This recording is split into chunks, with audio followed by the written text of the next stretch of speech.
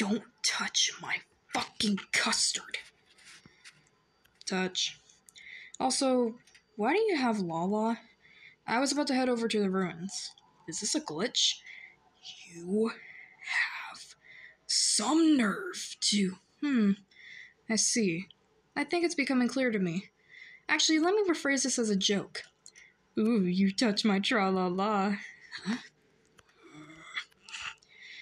Tinky smash. My ding ding dong. You know? I'm just gonna head back to the outskirts.